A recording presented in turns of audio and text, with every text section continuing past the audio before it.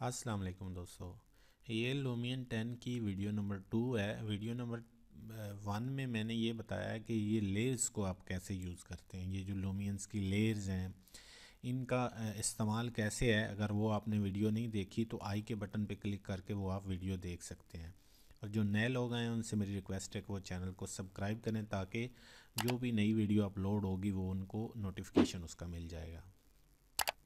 आज की वीडियो में, ज़्यादा लंबी वीडियो मैं नहीं बनाऊँगा, वीडियो को पूरा देखना है। आज की वीडियो में मैं बताऊँगा कि लोमियन 10 में आप एक न्यू मॉडल कैसे इंपोर्ट करते हैं। ऑलरेडी आपने अगर कोई मॉडल इंपोर्ट किया है तो उसको आप कैसे यूज़ करते हैं।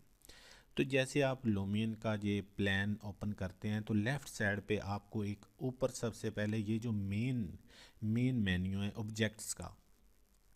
जिस तरह ये ऑब्जेक्ट्स हैं, इस तरह ये आगे मटेरियल्स हैं और लैंडस्केप्स हैं और ये सारे इन ताला step by step Lumion ten को सीखेंगे कि स्टेप बाय स्टेप इसको कैसे यूज़ किया जाता है। आज की वीडियो में सिर्फ़ ये बताऊँगा कि मॉडल आप कैसे इंपोर्ट करते हैं और लोमियन कौन कौन से फॉर्मेट को एक्सेप्ट करता है। तो चलें, सबसे पहले तो इंपोर्ट अ न्यू मॉडल आप देखेंगे यहाँ पे लिखा होगा इंपोर्ट अ न्यू मॉडल तो यहाँ पे हम क्लिक करेंगे। जो हमारे पास जो मॉडल होगा तो वो ये शो कर देगा। जो भी आपके पास मॉडल पड़े हैं स्केचअप का है, अभी मैं यहाँ से इस, अगर मैं इस मॉडल को, जो मेरे पास स्केचअप में बना हुआ है, इस मॉडल को अगर मैं इंपोर्ट करना चाहूँगा तो यहाँ पे ये आप देखेंगे कि ड्रॉप डाउन में ये D A E file F B X ये सारे फार्मेट जो हैं ऑटो डिस्क के हैं, ये सारी ड्राइंग्स जो हैं उसके बाद ये सारी फ़ाइल्स ये लूमियन सपोर्ट करता है। इस फॉर्मेट में कोई भी फ़ाइल आप लूमियन में इंपोर्ट करेंगे तो वो ये लूमियन 10 इंपोर्ट करेगा। आप इसमें इजीली इंपोर्ट कर सकते हैं। तो यहाँ इस फ़ाइल को मैं सिलेक्ट करता हूँ और यहाँ से ओपन का बटन प्रेस करता हूँ, ठीक है? तो मेरे पास ये कहेगा कि आपने इसका नेम क्या देना है, ठीक है? और ये आपने इंपोर्ट एज लाइंस ये अगर आप इंपोर्ट करना चाहते हैं तो आपकी मर्ज़ी कैटेगरी जो आप सिलेक्ट करना चाहते हैं न्यू कैटेगरी करना चाहते हैं तो वो आपकी मर्ज़ी। अगर इसी में मेन डिफ़ॉल्ट में आप रखना चाहते हैं तो आपकी मर्ज़ी। यहाँ पे अगर आप इसका नेम चेंज करना चाहते हैं तो आप कर सकते हैं। यहाँ से ओके का बटन प्रेस करें। और ये लुमियन जो है, आपके मॉडल को इंपोर्ट कर लेगा। जितना बड़ा प्रोजेक्ट होगा, उतना थोड़ा सा ये टाइम लेगा आपके मॉडल को इंपोर्ट करने में, लेकिन आपने परेशान नहीं होना। ये डिपेंड करता है आपके सिस्टम की स्पेसिफिकेशन पे। तो मेरे पास ये अभी मॉडल इंपोर्ट हो चुका है। यहाँ पे इसको आप अगर क्लिक करेंगे, यहाँ पे किसी भी जगह पे आप सेट करना चाहते हैं तो आप इसको जस्ट क्लिक करेंगे।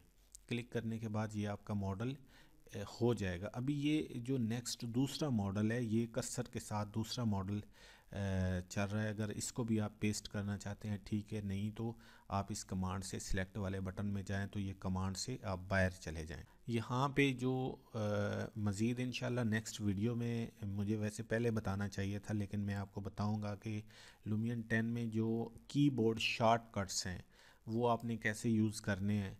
चंद कीबोर्ड शॉर्टकट मैं अभी इसी वीडियो में बता देता हूँ और बाकी इन डिटेल में एक पूरी वीडियो बनाऊँगा कीबोर्ड शॉर्टकट के हवाले से।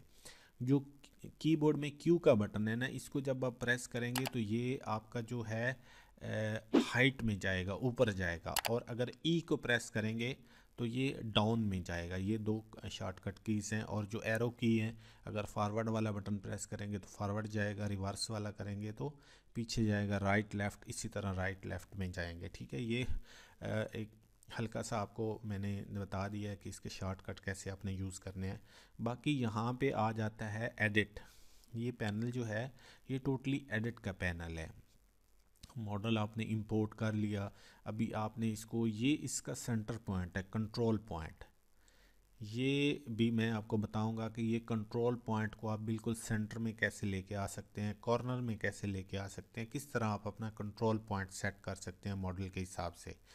अगर आप इस सिलेक्ट बटन को प्रेस करेंगे तो ये सिलेक्ट हो जाएगा। अगर आप इसको रोटेट को बटन को प्रेस करते हैं तो ये इस मॉडल को आप रोटेट भी कर सकते हो, ठीक है? आपका एंगल अगर सीधा नहीं तो आप इसी किसी एंगल में भी रोटेट कर सकते हैं, ठीक है?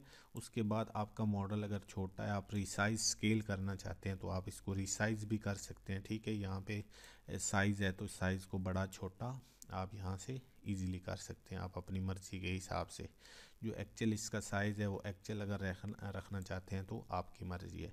उसके बाद अगर इसको आप डिलीट करना चाहते हैं तो डिलीट का बटन प्रेस करेंगे और इस पर जैसे लेके जाएँगे, ये रेड हो जाएगा। अगर आप क्लिक करेंगे तो ये डिलीट हो जाएगा। ठीक है, उसके बाद सिलेक्ट के बटन पर आ जाएँ और नीचे आपके पास है मूव अगर आप इसको दाएँ बाएँ मूव करवाना चाहते हैं तो आप इसको दाएँ बाएँ मूव भी करवा सकते हैं, ठीक है? इसको अगर अप डाउन करना चाहते हैं तो अप डाउन यहाँ से करेंगे। ठीक हो गया? यहाँ से इसको अप डाउन करेंगे और इसके बाद जो है साथ में आपने हॉरिजेंटल अगर करना है तो हॉरिजेंटल भी आप इसको कर सकते हैं, ठीक है? तो ये कुछ इसकी बेसिक है और ये जो है ना, ये टाइप इन मतलब है कि इसकी जो पोजीशन होती है एक्सेस पोजीशन जो होती है, वो अगर बिल्कुल इसको ज़ीरो पोजीशन पे लाना चाहते हैं तो आपकी मर्ज़ी, आप यहाँ से इसको ज़ीरो पोजीशन पे भी ला सकते हैं, ठीक है? ये बिल्कुल इसके सेंटर में आ जाएगा, जहाँ पे लोमियन का बिल्कुल सेंटर पॉइंट सेंटर एक्सिस बनते हैं तो यहाँ पे ये बिल्कुल सेंटर एक्सिस में आ जाएगा, जो आपका प्लान है उसमें।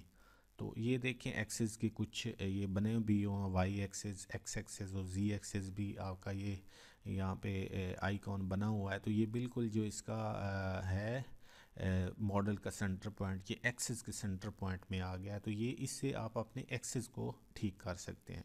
तो आज की वीडियो में इतना कुछ ही। मज़ीद वीडियो के लिए मेरे चैनल को सब्सक्राइब करें, वीडियो को लाइक करें और दोस्तों के साथ शेयर ज़रूर किया करें। अपना बहुत ज़्यादा ख्याल रखें। अल्लाह हाफिज़।